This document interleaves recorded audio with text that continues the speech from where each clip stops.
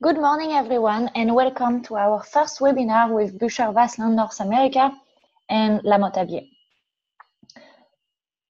My name is Eglantine Chauffour. I will be uh, your speaker today, and I'm the product manager of winemaking solutions at Bucher Vaslin, taking care uh, of the market of Lamothe-Abiet in USA. So now I'm going to stop um, the video so you can actually focus on the presentation and we are going to start um, talking about SO2 alternative for microbial control in winemaking. So before actually starting, I would like to introduce you to two, uh, the two brands that are partnering for this webinar. So Bucher Vaslin, designer, manufacturer, and seller of material for grape and wine processing since 1856. So 162 years of history, experience, knowledge, innovation all around the world. Bucher Vaslin is pretty well known, so I'm pretty sure everybody already heard about them. Lamothe-Abiet, French winemaking product brand, um, very well known for their high quality product. So they are collaborating with most of the uh, premium wineries in Bordeaux. It has been founded in 1878, so new in USA, but 140 years of expertise, development, and uh, technical support in other countries. We are now making it available for you in USA.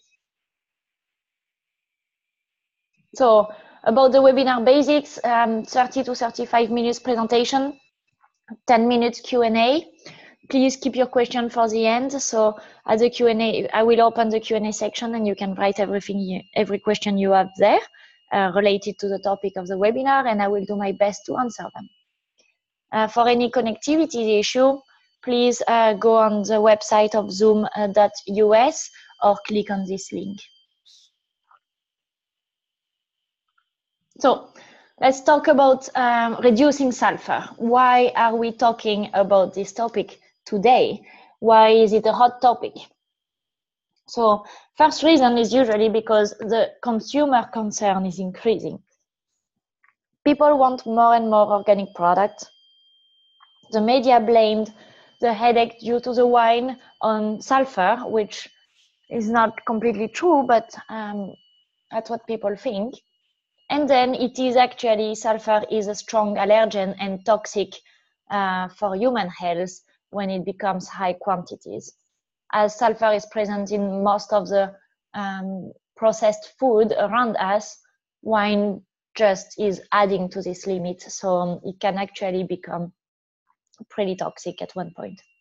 Then we have to label uh, to label contain sulfites in our wine in our bottle when uh, sulfur, total sulfur is higher than 10 milligram per liter. In terms of technical aspects, sulfur can act as a solvent uh, extraction, which can be good or bad. Um, it extracts all the phenolics from grape, but you can extract as well the protein, uh, which sometimes you don't want. So it can inactivate thiamine, which is an essential vitamin for the yeast. Without thiamine, yeast will have um, more risk to not complete the fermentation and will produce more compounds that can bind with sulfur later the, down the road. Sulfur will bleach color, so it's going to bind with the free anthocyanin that has a nice red flashy color uh, and make it transparent.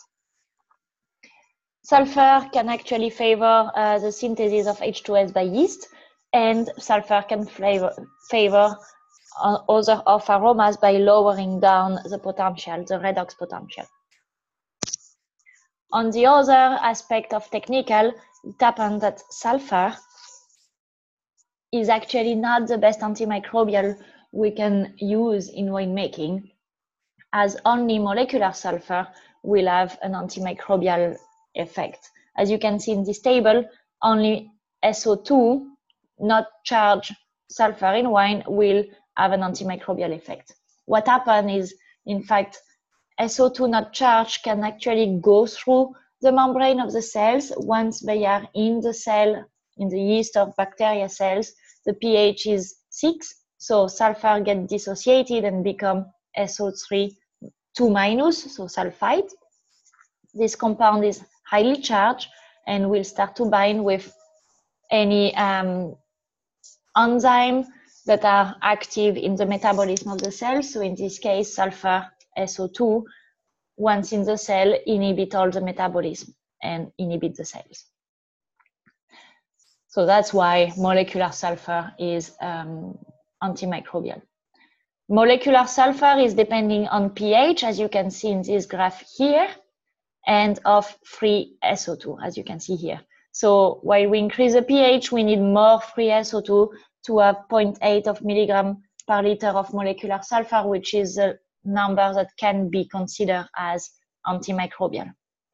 This graph is as well showing you that basically in a red wine, if we take 3.8 of pH, we would need 80 of free sulfur to be protected as antimicrobial, which is a number that is completely insane, that doesn't make sense to age a wine at this amount of sulfur. We are going to talk about almost like a lot of total sulfur and maybe above the legal limit, and as well a wine that smells only sulfur, that has no development, nothing that moves, and no color. So this is actually not considerable. So sulfur in high pH wine is not a good option to um, control microbes. In a lower pH, if you look at here, for example, 3.2, we will need only 20 of free sulfur. So in this case, sulfur will work. The other point is that to have free sulfur um, without increasing too much the total sulfur, we have to make sure we don't have too much bound. As you can see here, the bound sulfur has no action at all. Bound sulfur uh, is due to uh, some molecules that has been can be produced by yeast or bacteria, or even when there is botrytis present, that will bind to sulfur in a strong way and increase your total sulfur without letting have free sulfur. So these compounds can be acetaldehyde, pyruvic acid, oxoglutaric acid. Um, we are going to talk about how to reduce this compound to make sure we have, when we put sulfur, this sulfur, sulfur is efficient and can be used properly. So a sulfur, a sulfur that is um, multitask um, wine additive is uh, going to be not so easy to replace. But with now innovation, we have some uh, good alternative, let's say. So for the extraction uh, role of sulfur, we can use maceration enzyme. For the antioxidant role of sulfur, we can use tannins or sulfur pep containing peptides such as glutathione or cysteine and ascorbic acid. For the antioxidasic, we can use tannins or fining agents. And for the antiseptic, we can use microbial competition or chitosan. Obviously, for any of this role, sorting grapes can be a very big improvement already because you don't spread the contamination and you are actually selecting only the grapes that are perfect good hygiene and good winemaking winemaking practices are obviously um, highly recommended. I will talk about um, extraction, antioxidant, and antioxidasic in another webinar. Today we are focusing on the antiseptic role of sulfur. So first thing, uh, I want to show you the options about sorting grapes uh, to make sure you can keep integral grapes with higher quality without contamination and you eliminate the ones that are contaminated. If you want more information about um, this gray, these sorting tools, please feel free to visit these two websites and feel free to ask us questions. Basically, you have sorting tables um, that everybody knows sorting tables. You can have optical sorting. So Bucher has a Vistalys that can run up to 10 tons an hour so optical sorting is extremely accurate and you can basically remove everything you want to remove. So that's a very good option uh, when we are talking about limiting contamination and keeping only the integral ripe grapes.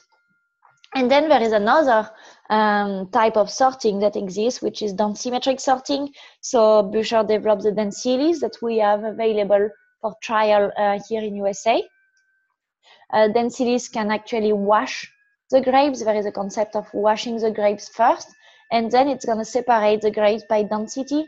So you will have one part that are uh, integral grapes with and ripe, and on the other part, the waste that will be unripe berries, open berries, and contaminated berries.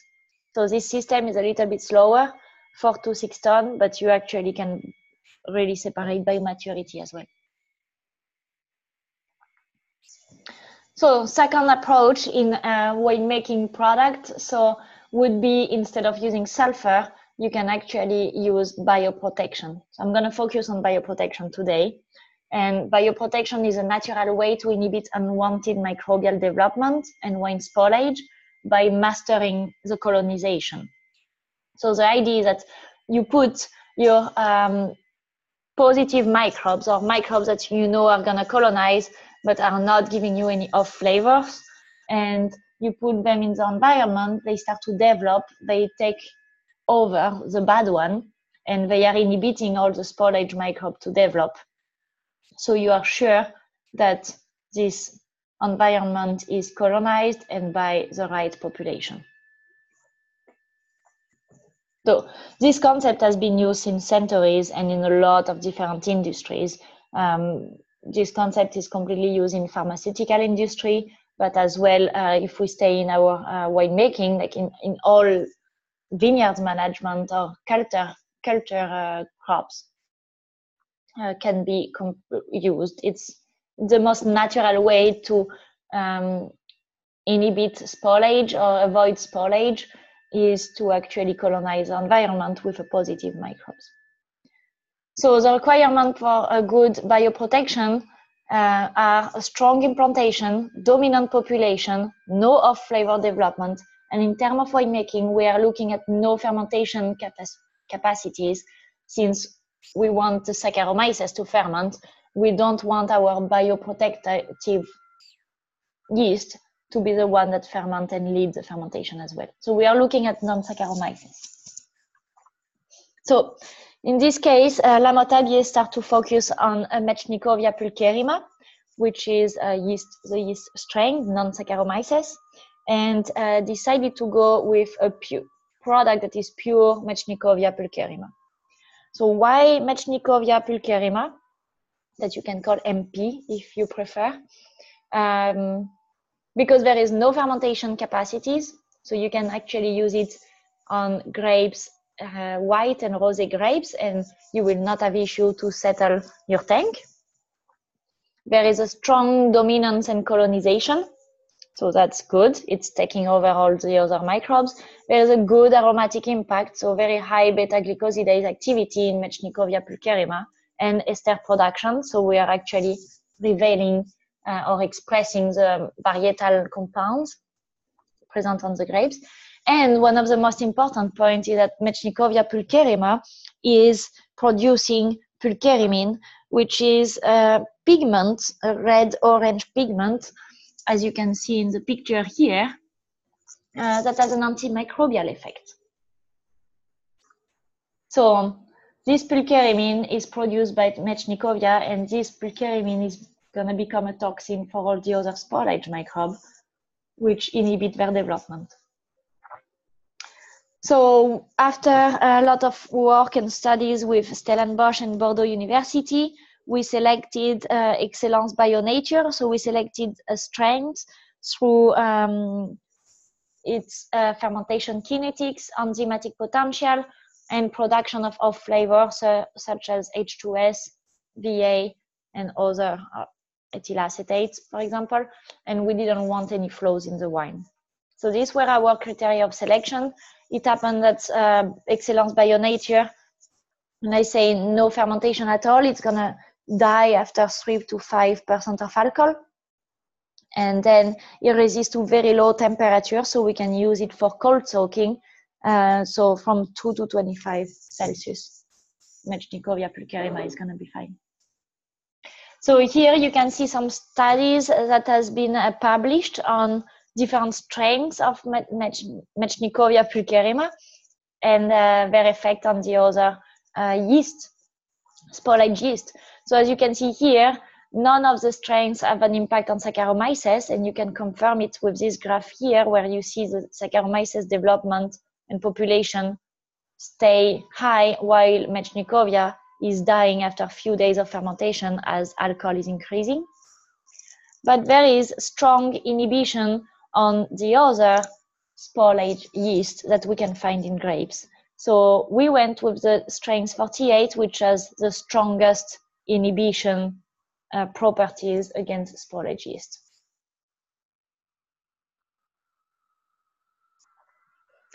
Another thing I would like to show you about uh, the Excellence Bio Nature is actually its uh, viability, strong resistance um, to survive. So basically, this yeast can be applied has to be applied as uh, early as possible. So on grapes, you can be applying it in the vineyard, you can be applying it at crushing, you can be applying it in the press or during filling the tank for cold soaking. The idea is that this yeast can be dissolved, rehydrate in um, ambient temperature water and left in this water for a good four hours without losing viability.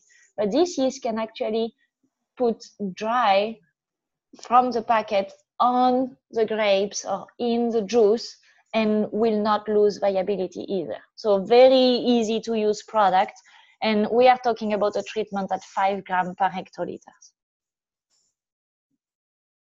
So I want to show you some trial results um, that I think can be important. So some uh, trials has been done on Cabernet Sauvignon as you can see here, these are the trials we did. So one has sulfur, one has no sulfur, and uh, um, Excellence DS as fermentive yeast.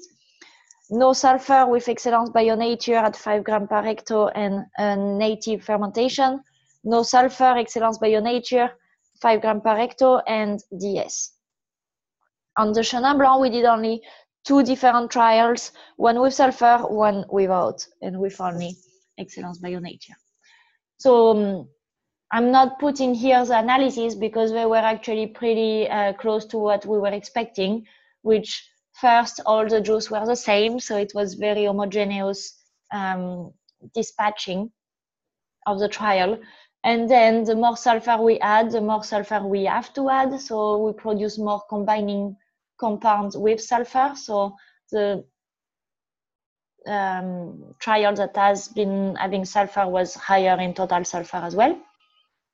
And then uh, it happened that our native fermentation in this trial here in the Cabernet uh, took much longer to ferment. So our native strains was probably not the best in this case. And we had more ethyl acetate, we had more VA, and we had more acetic acid bacteria presence. So I just want to share with you the result of the tasting, which I think at the end we are making wine to drink. So we want we are talking about the result of how the wine tastes. And so basically this is uh, speaking by itself. So you can see in red the modality with sulfur and in dark green the one with bio nature and commercial yeast DS. And you can see that when we use sulfur, we increase the fault, we decrease the appreciation, while if we do the bio nature and um, the DS commercial yeast, we are actually having almost no fault. We increase complexity, we increase cleanliness, appre general appreciation, balance, persistence, aromatic persistence, and roundness. Same result in the white wine in Chenin Blanc where with the bio nature we increase all the positive aromas, we increase the balance, acidity, and appreciation. Remember that bio nature has a strong uh, beta glucosidase activity that will help expressing the aromas.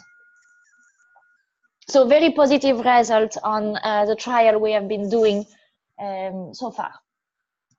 So if I want to make a conclusion, so this would be the ID of the Excellence Bio Nature.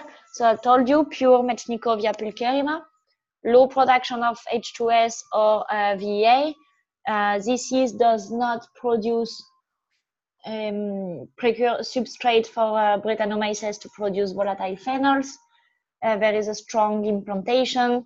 There is a very good viability during rehydration, so you can prepare your yeast before and then add it four hours after. Low fermentation capacity, it's gonna die between three and five percent of alcohol. No uh, ethyl acetate production, and then very good resistance to sulfur, to big range of temperature, and resistance to low pH too. So as a bioprotector, I think we fill um, all the requirements. We can manage the microflora at the first stage of winemaking. So with uh, BioNature, the suppression of sulfur on grapes is actually possible. There is less uh, sulfur combining compounds produced when you use BioNature. Your wine end up more aromatic with a better mouthfeel and higher complexity. And this product, in addition to being non-allergenic, is actually organic certified. Um, and it's so it's a great alternative to sulfur for microbial con control on grapes. In terms of application, we are talking about five gram per hectoliters on uh, healthy grapes. We can go up to 10 gram per hectoliters if the grapes are having uh, highly contamination, high contamination of botrytis, for example. So let's go now in the part of um, wine. Let's go now in the wine part. In wine, SO2 is used as antioxidant and antiseptic. So again, we're going to focus on the antiseptic approach and the alternative could be microbial competition, again, or dominance of a microbe that we know is positive, and chitosan.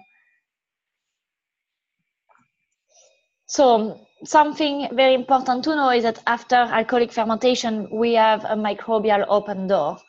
Every single microbes are a potential danger at this step. The environment is warm, there is nutrients, there is substrate, there is low competition, there is low protection. Any single microbes could start to take over and it would become uncontrolled, spoiled wine. So we want to make sure we know which microbe is going to develop. And for this, we have to inoculate with the compounds, with, with the microbe we want. So um, to do the malolactic fermentation, we highly recommend to inoculate, uh, and this can be considered as bioprotection because you are going to control the microflora balance, no off aroma production, low biogenic amine production. You can ensure your malolactic fermentation completion you limit the risk of microbial spoilage and you will uh, control the production of these SO2 combining molecules. So we at Lamothe-Abiet uh, propose uh, NO1, which is a strain that is actually resistant to very difficult conditions. It's a strong fermenter with a short lag phase. It consumes acetaldehyde, so it consumes the compound that will bind with sulfur. So that's actually helping having your sulfur more active later down the road. And it does not produce biogenic amines, as you can see in this graph here, where we compare a wild uh, spontaneous uh, malolactic fermentation that is not controlled. You don't know what to expect to NO1. Biogenic amine production is a very important topic as uh, they are responsible of some very off flavor, such as rotten flesh, dead bodies, or even uh, fish pound, um, fish food flakes. And as well, they some of them are regulated with some countries, such as in Switzerland and Canada. So inoculation is highly recommended. Then the second thing is uh, that you can use during aging. So this would be after malolactic fermentation uh, or after alcoholic fermentation if you don't do malolactic is uh, chitosan. Chitosan is a great alternative to sulfur for microbial control, especially in high pH wine where sulfur doesn't work. So chitosan is a product of the deacetylation of chitin, and chitin is a polysaccharide that in winemaking is derived from Aspergillus niger. So it is a vegan, non-allergenic product. Only the one extracted from Aspergillus niger is legal in US in uh, winemaking uh, use. So here you can see the molecule of the chitin. We do the deacetylation, and then when we put it in low pH, such as wine, the, the chitosan become highly charged and active. So how does it work? Uh, the chitosan, so the positive, positive charge of the chitosan are gonna be attracted by the negative charge on the cell walls of the microbes. And as you can see in this picture, that this is a Brett and this is a chitosan. chitosan. Brettanomyces got trapped into the chitosan, so it's working as a magnet that compounds get together, they stick together, then there is a release of the cell, and then we end up with the death of the cell. Chitosan is um, most of the part of chitosan are uh, insoluble, so they are going to be precipitating. And then you can do a rack off and eliminate the leaves that are the dead microbes and the chitosan. The chitosan of Lamothe-Abiet is called Kilbret, as you can see um, here. And it's a vegan, allergen-free alternative to sulfur as antimicrobial. So let me just show you um, uh, the range of activity of chitosan because even if we call it Kilbret, it has actually much more application than just removing Brettanomyces. Chitosan has a wide spectrum of activity as antimicrobial. It can remove uh, lactic acid bacteria, it can remove non-Saccharomyces yeast, and it can remove some acetic acid bacteria as well. So if you look at this study here, you can see the different microbes that has been tested. This has been done in a laboratory. So the dosage that they came up uh, with are much higher than what you would need to do in a winery. But you can see that they tried different dosage to see the sensitivity of um, the microbes. And as you can look here, which is a summary of this table, basically with 20 gram per hectoliters from their dosage, which means five from our perspective, you can remove Brettanomyces, Oenococcus, Lactobacillus, then something, and then with a little bit more, you can even remove Zygosaccharomyces bailii. Something that you want to notice here is that Saccharomyces is actually not uh, impacted by chitosan. So Kilbret could be even used during fermentation if there is a contamination bloom to remove spoilage microbes and it will not interact with Saccharomyces and fermentation because you will need more than 200 gram per hecto to inhibit Saccharomyces. So the application of Kilbret, we could use it to control malolactic fermentation, but more, most likely you're going to want to use it to control microbial spoilage during aging. So there is two approach on this. You can use it as a curative and if you look at uh, the table here, it shows you the dosage. So when we are talking about moderate um, contamination, so 100 cells per milliliter, 2 gram per hectoliter of Kilbret will be enough to remove the cells. Higher contamination, 1,000 cells per milliliter, we are talking about 4 to 6. And then when we go in very high contamination, so above 10,000 cells per milliliter, we are from 6 to 8. The legal limit of Kilbret is 10 gram per hectoliter uh, from the TTB, uh, which is more than enough to remove high contamination um, wine, high contaminated uh, wine. So you can see here how it works. You have the control with actually Brett, and after 4 gram per hectoliter, there is no bread at all that can grow on the plate, and obviously with 8, even lower. Uh, the other approach can be preventive approach. So we are talking about a wine that we suspect has some issue, but uh, not really issue that we can measure. We just want to make sure it will not happen. So we will kill all the cells before they actually develop.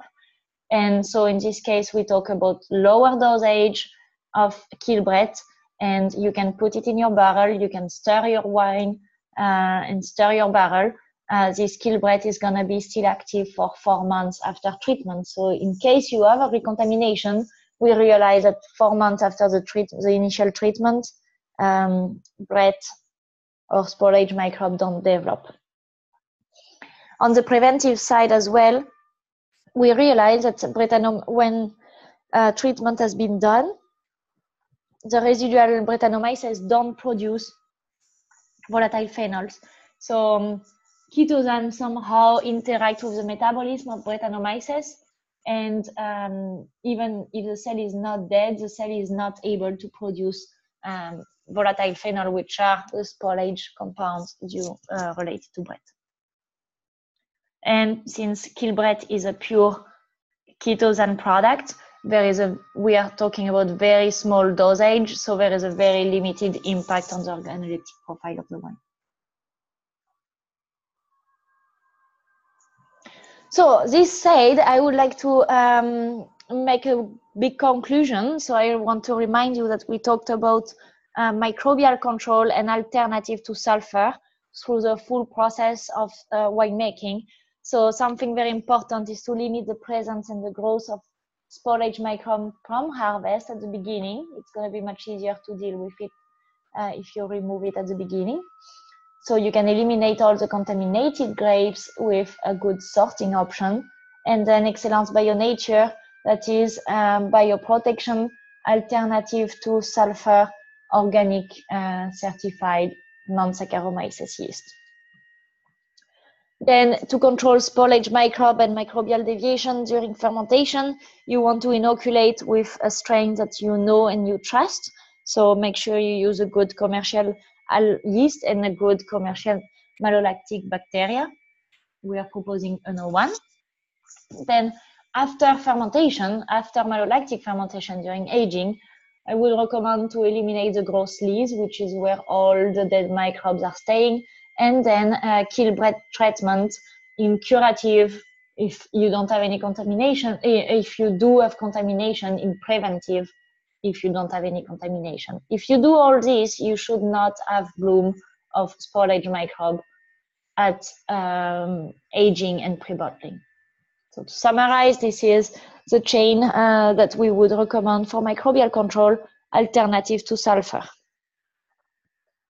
Obviously, uh, added to this, you have to make sure that you can manage a very good hygiene uh, in the winery and in the cellar then you want to make sure you do a good routine analysis during aging. So please make sure you check regularly your VA and you check regularly um, the microbial load, so plating, and then you can taste. And um, this said, I think uh, these are my conclusion for today. So thank you very much. I'm gonna open now uh, the question and answer portion. Um, and I will do my best to answer all your questions.